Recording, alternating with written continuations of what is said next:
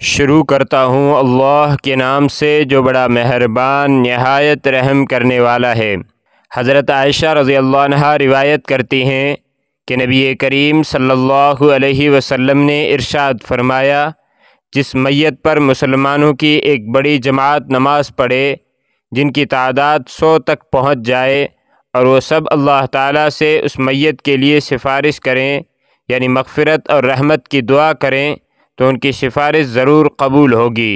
हज़रत अबू हुरेरा रज़ी अल्लाह रिवायत करते हैं कि रसोल्ला सल्लल्लाहु अलैहि वसल्लम ने इरशाद फरमाया, जो शख्स जनाजे में हाज़िर होता है और नमाज़ जनाजा के पढ़े जाने तक जनाजे के साथ रहता है तो उसको एक किरात सवाब मिलता है।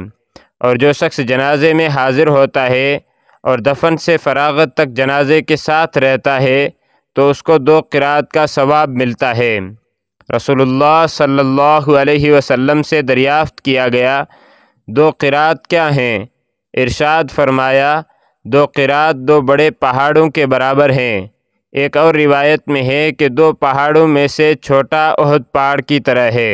हज़रत अब्दुल्ला रज़ी अल्लाह रिवायत करते हैं कि नबी करीम सल्लल्लाहु अलैहि वसल्लम ने इरशाद फरमाया जो शख्स किसी मुसीबत ज़दा को तसल्ली देता है तो उसको मुसीबत ज़दा की तरह सवाब मिलता है।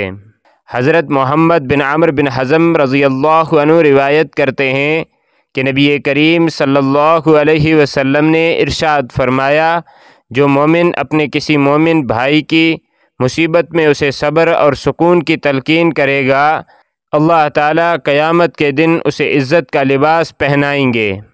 हज़रत अबू दरदा रज़ी फरमाते हैं कि रसोल्ला अलैहि वसल्लम इरशाद फरमाते थे, मुसलमान की दुआ अपने मुसलमान भाई के लिए पीठ पीछे कबूल होती है।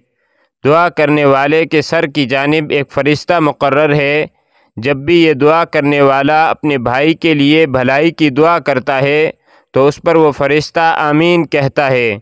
और दुआ करने वाले से कहता है, अल्लाह ताला तुम्हें भी उस जैसी भलाई दे, जो तुमने अपने भाई के लिए मांगी है।